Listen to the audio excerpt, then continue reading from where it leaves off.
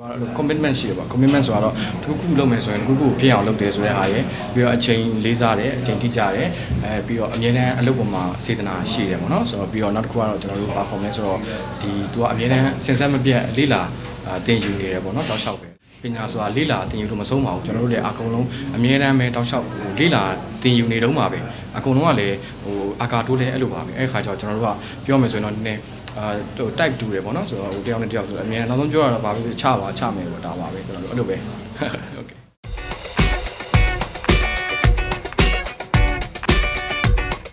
ကျွန်တော်တရားဆိုပါကျွန်တော်ကဒီကျွန်တော်ကတော့ commercial ရိုက်တဲ့ TVC ရိုက်တဲ့ driver ပေါ့နော်အခုကတော့ကျွန်တော်ကဒီကျွန်တော်ညီလေးအာကာတိုးနဲ့ဟိုရုပ်ရှင်တကားရိုက်ဖို့အတွက်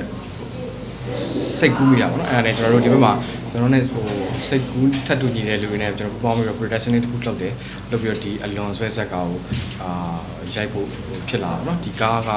အာဘယ်လိုလဲဆိုတော့ကျွန်တော်ကဒါဟောပေါ့အာ crime အာ ပြီးတော့ drama suspense ပေါ့နော်ဆိုတော့အဲ့အဲ့လိုပုံစံကားမျိုးလေးပါဟိုကျွန်တော်တို့အဲ့လိုဟိုအဲ့ဒါလေးအတွက်အားလုံးပေါ့နော်ကျွန်တော်လည်းစိတ်တူကိုယ်တူဖြစ်တဲ့လူတွေတရုပ်ဆောင်တွေဒီဘက်ကကျွန်တော်ဒီဟို DOP ပေါ့ဟိုသူတွေအဲ့သူဆိုလည်း academy ရတာ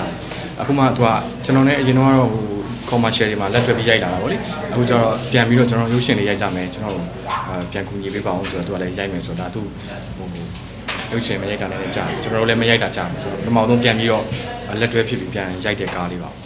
ဟောပထမဆုံးအနေနဲ့ကတော့ကျွန်တော်တို့ကတရုပ်ဆောင်ရွေးတယ်ဆိုတာကတော့ကျွန်တော်ကဇက်ကောင်နဲ့ကြိုက်မဲ့တရုပ်ဆောင်ရွေးရပါဗောလေဆိုတော့ဇက်ကောင်နဲ့ကြိုက်မဲ့တရုပ်ဆောင်အရင်ဆုံးရွေးရတယ်ပြီးတဲ့အခါမှာကျွန်တော်တို့ကဟိုဘယ်လိုခေါ်မလဲကျွန်တော်တို့နဲ့အတူတူဟိုတတိချာလေးအလုပ်လုပ်ပေးနိုင်မယ်လူမျိုးပေါ့နော်ဆိုတော့တကယ်ကိုလည်းဟိုဟိုအင်တိုင်းအားတိုင်းစိတ်ပါဝင်လာပြီးတော့ရိုက်ရိုက်ချင်တယ်အဲရိုက်မယ်ဆိုတော့တရုပ်ဆောင်အနေနဲ့ကျွန်တော်တတိချာလေးညှိနှိုင်းပြီးတော့ရွေးထားပါတယ်အဓိကတော့ကျွန်တော်တို့ကရုပ်ရှင်တစ်ခုမှာဟို အရေးကြီးဆုံးကဇန်ညောင်းရဲ့ဒီတရုပ်ဆောင်ရဲ့ပေါ့နော်တရုပ်ဆောင်ဆိုတာကတော့ကျွန်တော်ဒီဇက်ကောင်နဲ့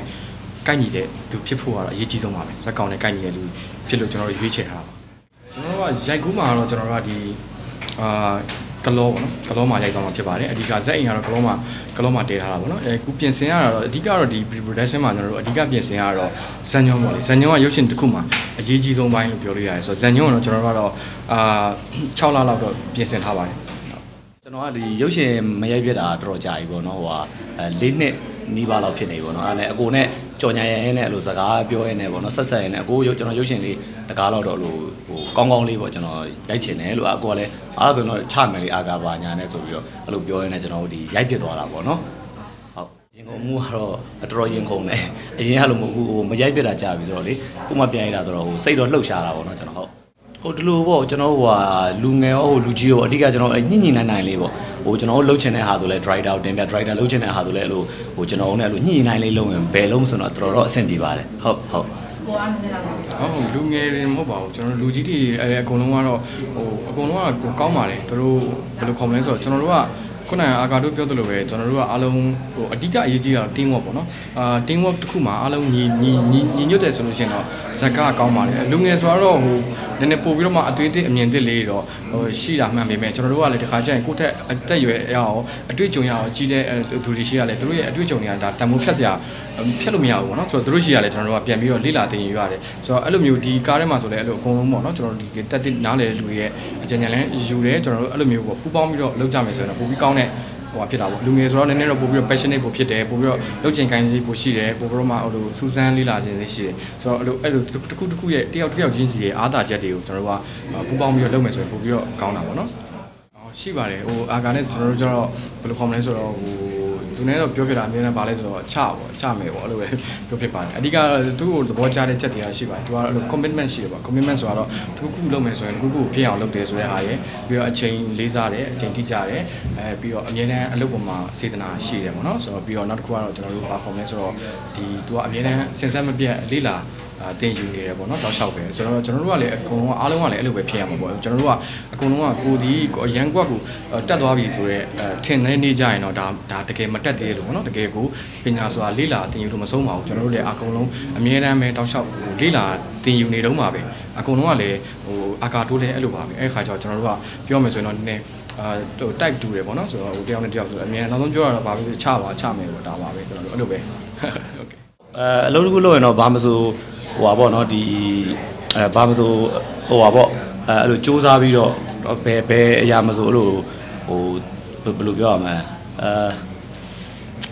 ဘယ်ရမဆိုပေါ့နော်လို့ဟိုကြိုးကြိုးစားစားနဲ့ဟိုတေချာလေးလေးလတ်လေးလို့နော်ဘယ်ရမဆိုတော့လို့ဟိုအချိန်တစ်ခုကိုစောက်ရင်တော့လို့ဟိုဟာဟိုအောက်အောက်မြင်နိုင်ပါလေပေါ့ဟုတ်